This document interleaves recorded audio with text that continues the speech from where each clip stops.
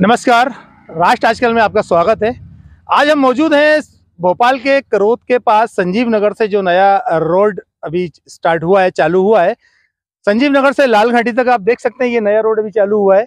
और ये रोड के बनने से करोत क्षेत्र के लोगों को लगभग चार से सात किलोमीटर का फ़र्क पड़ेगा लाल घाटी चौराहे पर आने में।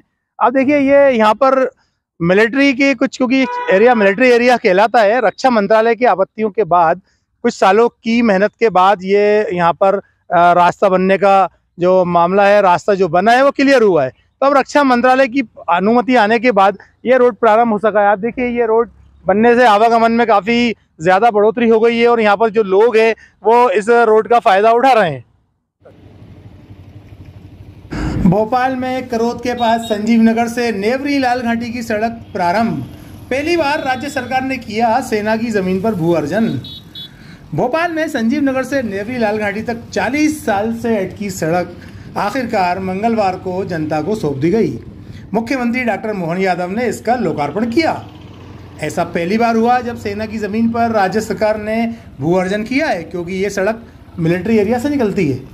रक्षा मंत्रालय से मंजूरी के लिए मंत्री विश्वास सारंग 16 साल में चार रक्षा मंत्रियों से मिले। और अयोध्या बाईपास से लाल घाटी के लिए सात किलोमीटर की जगह चार किलोमीटर की दूरी तय करनी होगी। कुछ इलाकों में जाम होने पर एयरपोर्ट पहुँचने में भी आधा समय लगेगा। तीन दशमलव आठ किलोमीटर लंबी सड़क को पाँच करोड़ रुपए खर्च से बनाया गया है। पवन होम्स द्वारका धाम करोद और अयोध्या बाईपास के लोगों को इस सड़क का सीधा सीधा लाभ पहुंचेगा।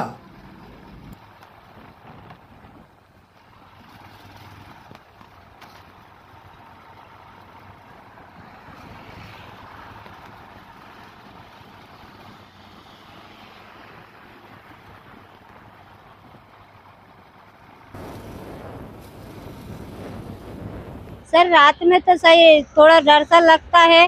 चोर उचक्के मारे एकली लेडीज़ बाइक निकल नहीं पाती, गाड़ी घोड़ा कुछ मिल नहीं पाता है। और इधर दिन में तो ठीक लगता है। लाइट माइट भी कुछ नहीं है, इस पर खम्मा वम्मा एक आध लग जाए तो और भी अच्छा है। सर थोड़ा इंतज़ार तो कर रहे हैं कितने दिन से कर रहे हैं, कीचड़ों में भगे हैं, फिर बड़ी मुश्किल से रोड बनाए हैं आप।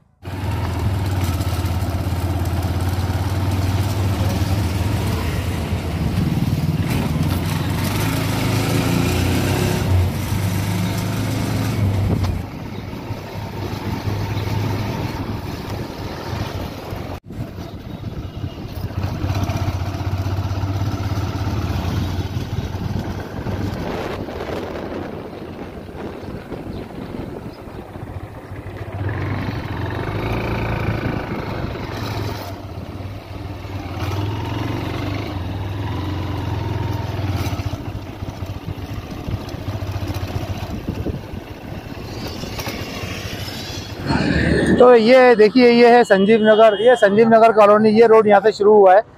ये रोड गया सीधा सीधा लाल घाटी तो ये इस रोड से यहाँ रहने वाले द्वारका धाम, पवन होम्स, करोद, अयोध्या बाईपास के लोगों को कम से कम चार से सात किलोमीटर का फ़र्क पड़ेगा, जो कि एयरपोर्ट रोड और एयरपोर्ट रोड से घूमते हुए आना पड़ता था लाल घाटी ये इस रोड से यहाँ के रहवासियों को काफ़ी फ़ायदा होगा।